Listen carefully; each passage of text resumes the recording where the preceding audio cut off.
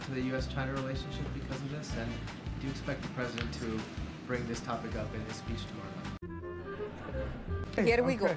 go. Um, I will say this, uh, as we know, when, when it comes to State of the Union speech, foreign policy is always a Showtime, folks. A, a, topic in those in that speech. I'm not going to get ahead uh, of the president and what he's going to to speak to, uh, as it relates specifically to China. You know.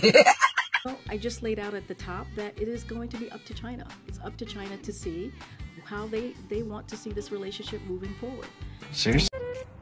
What did that just mean? And so uh, I'll leave it there. Yep. Broad question about the State of the Union address. We heard Brian Deese's uh, take on the economic terms. Bitch, what? Oh my god. Obviously, foreign policy will also be a, a, a theme. Can you just give us a broad brush answer on what does President Hey, you know what? My head just exploded listening to you. I don't. I have no idea how to respond. Biden hopes to achieve with his speech tomorrow night?